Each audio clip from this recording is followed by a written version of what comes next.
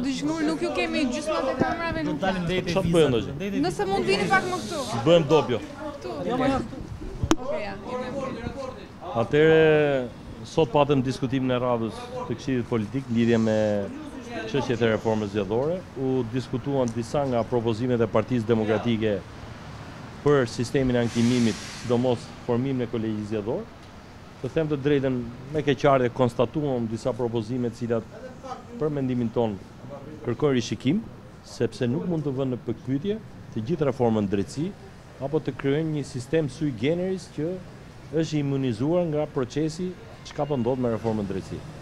Pra, ne jemi të gatshëm që të gjejmë kompromis, por duke respektuar parimet kushtetuese dhe të mirat dhe produktet e reformës në drejtësi. Jo hallet politike që kemi me drejtësinë, t'i kthejmë dhe në tryezën e reformës zgjedhore. Pra, pak a shumë, ky qe qëndrimi jonë. Gjithashtu diskutuam dhe për çështje të tjera, të cilat Jemi duke gjetur kompromis, si ca shqetësime që kanë ata në lidhje me rolin e Policisë së Shtetit, që ne kemi ngarkuar ekspertët për të gjetur një produkt të përbashkët dhe kemi dhënë dakordësinë, apo propozimet që kishte Partia Demokratike në lidhje me sinjalizuesit dhe rolin mbrojtës që ata duhet të kenë nga autoritetet shtetërore, edhe këtë do ta gjejmë kompromisin, pra jemi duke progresuar për disa çështje, por nga ana tjetër Thashë, gjërat principale në lidhje me organizimin kushtetues dhe rendin kushtetues në këtë vend ne nuk mund t'i vëmë në pikëpyetje për shkak të disa shqetësimeve politike që ka një forcë e caktuar politike. Deri tani vetëm dëgjoni propozime, zoti Gjiknuri, apo ka dakordësi për ndonjë nga çështjet që është hedhur në tryezë? Për disa nga çështjet që është hedhur në tryezë, për shembull çështja e sinjalizuesve që e ka sjellë Partia Demokratike,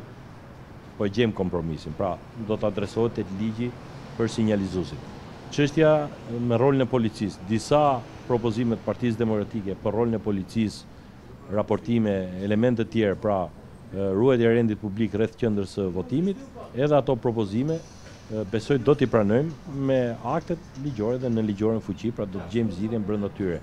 Pra, ka disa propozime që janë të karakterit garantues, teknik, më shumë transparencë, ne jemi të gatshëm që ato t'i t'i pranojmë. Zoti Gjiknuri, a ndikojnë lëvizjet e fundit të presidentit dhe paralajmërimet për shpërndarje të parlamentit në ecurinë e reformës zgjedhore? Tash unë besoj që Partia Demokratike është aty për të miratuar kodin zgjedhor në bashkëpunim me ne dhe me parlamentin sepse është parlamenti ai që do ta miratojë atë. Kështu që nëse vërtet duan dhe kanë vendosur t'i kthehen institucioneve dhe bënë shumë mirë që ulën në një tryezë reforme, besoj që thirrjet e presidentit nuk duhet të ndikojnë dhe nuk ka pse Partia Demokratike të përfshihet në lojën e presidentit. Zoti Gjiknuri, Partia Demokratike tek propozimet për rolin e policisë në proceset zgjedhore e ka përcaktuar gjithmonë në një qeveri tranzitore, pra keni marrë parasysh edhe këtë pjesë kur është diskutuar? Besoj se e dhashë një përgjigje dhe javën e kaluar. Nuk ka diskutim për qeveri tranzitore dhe e kam thënë, atë, ato gjëra që nuk u arritën me luftë në rrugë, mund, nuk mund t'i marrim në negociata në tavolinë. Pra, kjo është një çështje e ezauruar, është çështje politike, nuk ka lidhje me reformën zgjedhore. Çështja e qeverisë kujdestare apo tranzitore. Kështu që është diçka që është për mua e mbyllur, nuk e konsideroj si problem. Zoti Gjiknuri, propozimin e sotëm të Partisë Demokratike që nuk lejon hetimin dhe procesin disiplinor ndaj anëtarëve ndaj gjyqtarëve të Kolegjit Zgjedhor Gjyqësor, ju po paralajmëroni që nuk do ta pranoni apo mund të bëni një rishikim të saj? Unë thashë që nuk duket normale që procesi i vettingut të bllokohet për shkak të formimit të Kolegjit Zgjedhor. Nga ana tjetër, mendoj që, Mund të ishte më e arsyeshme që gjyqtarët që kanë kaluar vetingun të jenë pjesë e përzgjedhjes për kolegjin zgjedhor. Këtu jemi dakord. Pra duke zgjeruar shkallën për te gjykatat e apelit, pra sepse ka pas ka një ngërç dhe ka një vështirësi në këtë drejtim, por ne jemi të hapur që nëse vërtet një pjesë kanë kaluar vetingun, pse mos jenë ata shporta nga mund të cilët nga mund të cilët nga mund të përzgjidhet. Megjithatë thashë, këto janë çështje që po i diskutojmë,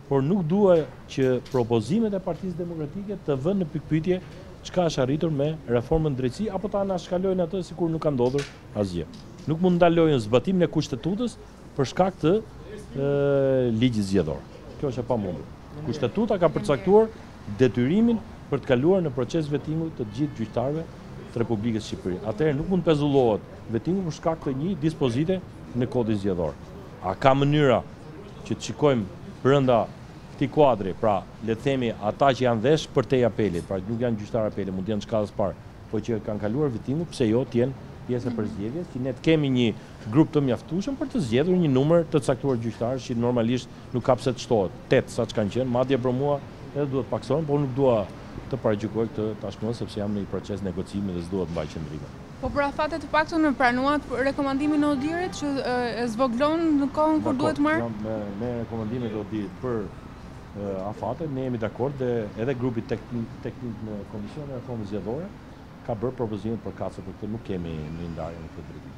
Shpresoj dhe një gjë të fundit që Shpresoj që opozita brenda javës tjetër të sjellë të gjitha shqetësimet dhe propozimet që ka edhe për çështjet e tjera, në mënyrë që këtë dy-trejavësh të fundit ta shfrytëzojmë për gjetjen e kompromisit dhe për të bërë ato që janë të bëshme dhe për të lënë mënjanë ato që vërtet nuk realizohen apo janë propozime që nuk qëndrojnë as me standardet, as janë në përputhje me rekomandimet e ODIHR-it. Sot opozita bëri propozimin e paketës tjetër në reformën zgjedhore në përputhje me kalendarin e miratuar. Tashmë opozita ka bërë ka propozuar rreth 6 paketa bashkë me këtë dhe pritet që në ditët në vijim të jetë dhe një e shtatë në lidhje me financimin e partive politike. Propozimi sot ishte shumë i rëndësishëm.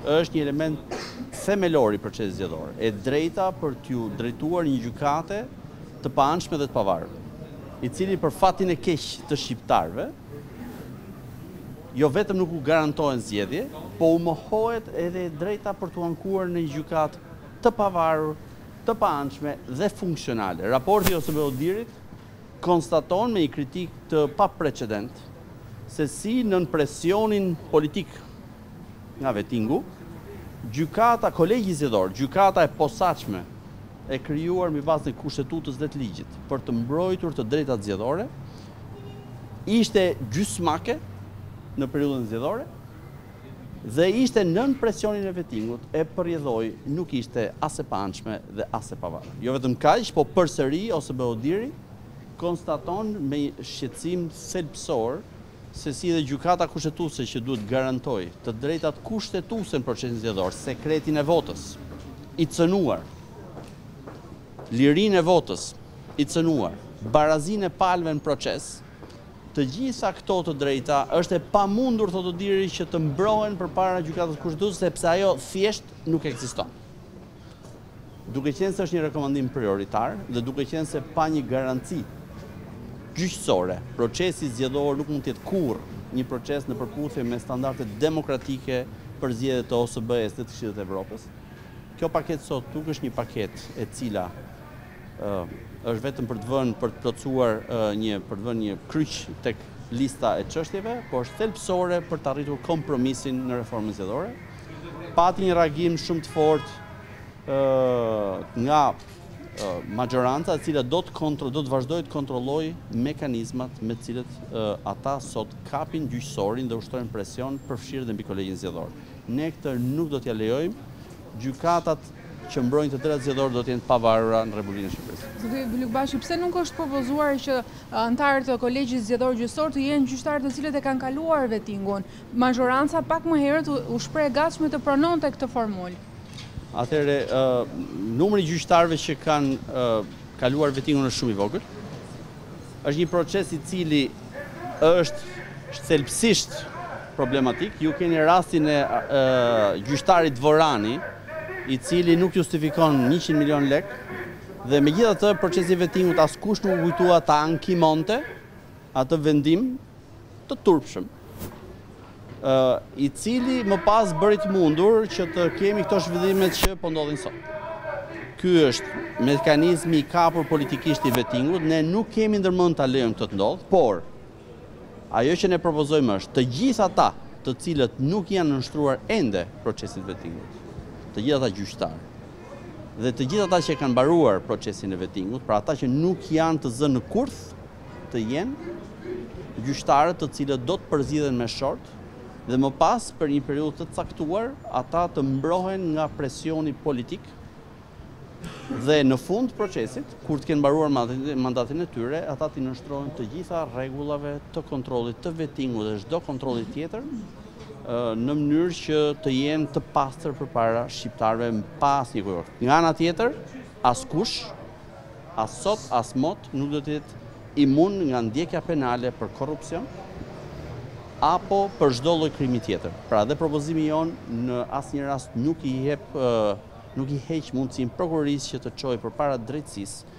këdo që është i korruptuar. Faleminderit. Zoti Bylykbashi, duke parë ritmin e punës së kësaj tryeze, mendoni se do t'i përfundoni të gjitha pikat e kalendarit në kohë? T'ia lëmë punës me ekspertët bashkë me ata të ODIHR-it, ekspertët janë duke të cilësuar.